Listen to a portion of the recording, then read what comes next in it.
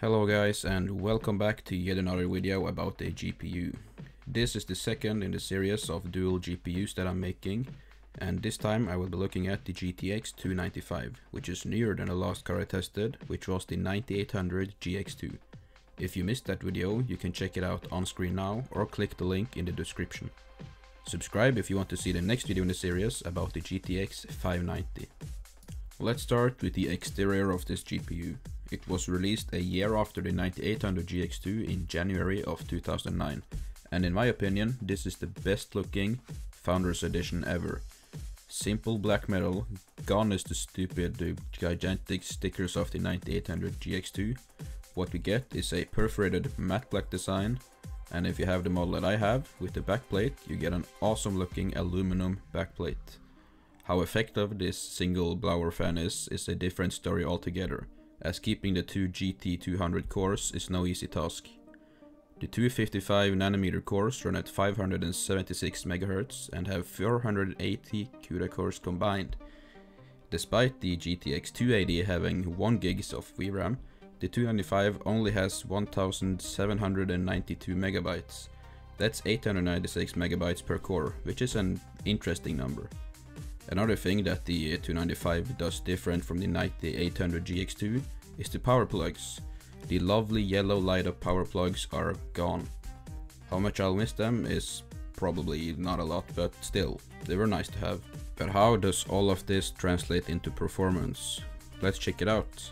I will be testing 4 games this time around, which are Rocket League, CSGO, Tomb Raider 2013 and Fortnite, which I realize is a popular game, so that's why I'm testing it. Hopefully you can just endure it if you don't like it.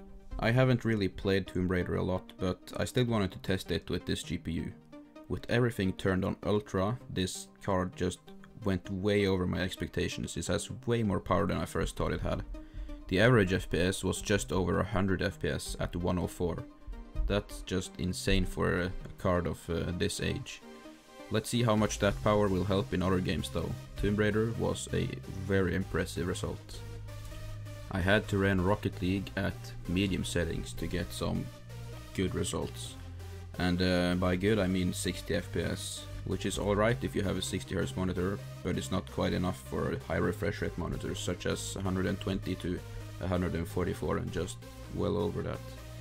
But if you have a 60Hz monitor, I guess it's fine actually. CSGO was another game that I tested and it ran pretty well, this time at medium settings. An average of 177 FPS is high enough for modern monitors running at 144Hz and the game still looks okay. CSGO is a CPU intensive game however, so let's check it out in Fortnite which is more of a GPU intensive game. Yes, I ran Fortnite. My original idea was to test PUBG, but that game requires DirectX 11, which this card doesn't support at all. And with 36 FPS it wasn't a great experience. It's okay if you're playing console I guess. But yeah, this is a computer and I want more than that. And uh, this leads me to the main reason this card is hard to use in 2018.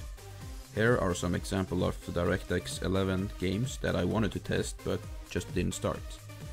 The Witcher 3, Skyrim, Dirt Rally, and as mentioned before, PUBG. As you can tell, these are some seriously popular games at the time. And uh, if you want to use this game for some serious gaming, there aren't a lot of modern titles for you to enjoy. But if you're more of a last gen gamer playing the games from 2010 for example, this card is perfect actually. And that leads us to the conclusion for this video.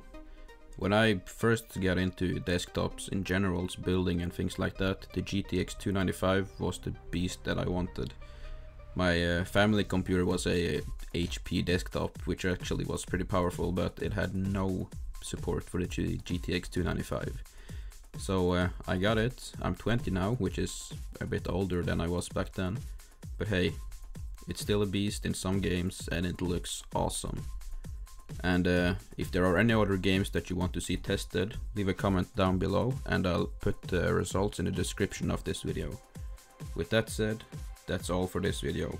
Thanks for watching and have a good day or whatever is where are you watching from. So I don't know, just have a good day, night, whatever and stay tuned for the next video.